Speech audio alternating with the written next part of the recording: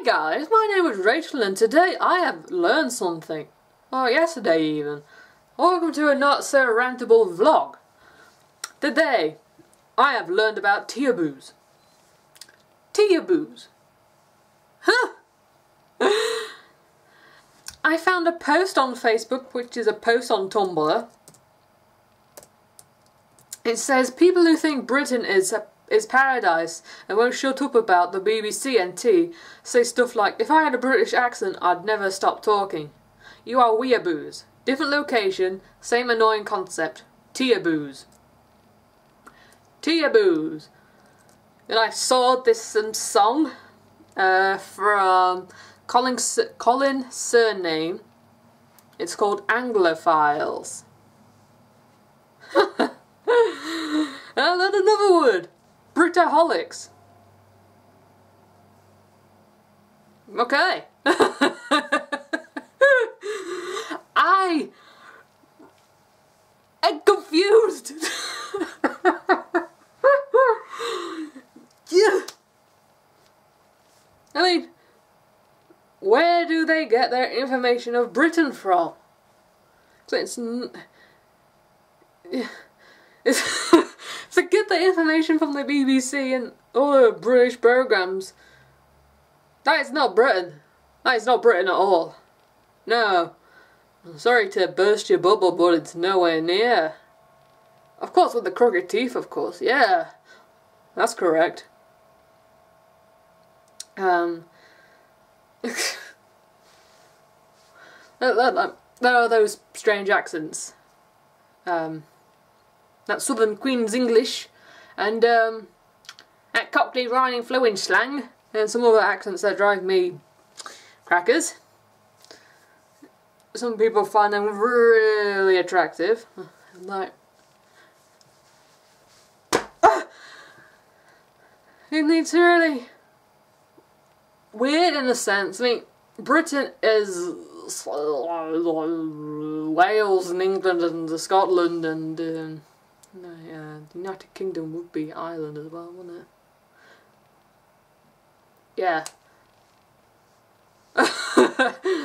so Britain, Britain, England, Scotland and Wales, but Teaboos always see it as the southern part of England. That is the southern part. There's a whole country and another two that's part of Britain. The Scottish, trust me, do not sound like the South. Nor do the Welsh. I mean, heck, the rest of England do not sound like the South. I mean, of course, I may do in places I have no idea. People, every time I talk to different people, they ask me, "Oh, where are you from?" It sounds like, sounds like you're um, you travel places, and, and I'm I say no, the only farthest travelled place I've ever been was Scotland. And nowhere, shape or form do I have a Scottish twingle in there. I mean, they don't explain what my accent sounds like. I know um, when my brother sometimes hears me doing a vlog, he says, oh, you sound very business at one point. Then one point you sound local, and then the next point you sound complete scum. like, okay. I mean, I don't know if it's um, random words that pop out. I can't really tell. I totally sound completely the same as I carry on to talk. Uh, can't believe it. I don't. I don't know if he says complete scum or muck. I don't know. I don't know. I think he's probably referring to, um, you know, hip, whatever. Um, strong. I don't know. I don't know. But I know I do have a strong business accent when I talk to um, uh, other businesses and uh, other professionals because I feel that if I spoke like that I would get further quicker and get what I want from them. So I twist and turn other words. So like, if I was to talk about my dad, I would say, uh, in general, I'd say, uh, my dad told me about what offers you have, and I thought, well, what can you offer me? Now, I wouldn't say like that. What I would say is, hello and good evening. Um, my father explained to me that you have some offers for me to um, inquire about. You know, like that. Just a bit more clean cut and... Huh. But going back onto the subject of Teaboos, Britaholics and Anglophiles, I mean, of course, it's good to have an obsession over a culture, but you got to do it in the right way. It's kind of the the, the, the ones that's been explained here is that it's, it's more of a fantasy. Um,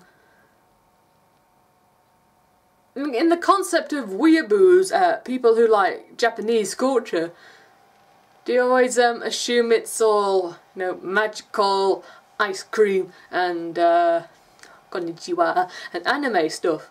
No, it's like any ordinary ordinary country, but we're Japanese people. Like Britain is like any ordinary country with its problems and problems and problems.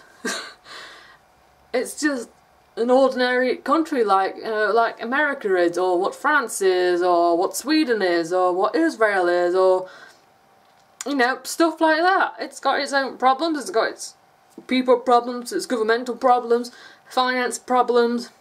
You know, it's not that special to anywhere else. So it's not a rant video. It's just me being curious about the whole Teaboo Britaholic and Anglophiles. So if you're going to be obsessed over a culture, you got to do it right. I'm, just, I'm just saying, I'm just saying. I mean, if you learn the true culture of Britain, or the United Kingdom of England, Ireland, Scotland, Wales and Northern Ireland, then I feel that your love will kind of drain out because then it'll be no longer fantasy. It'll be no longer fantasy.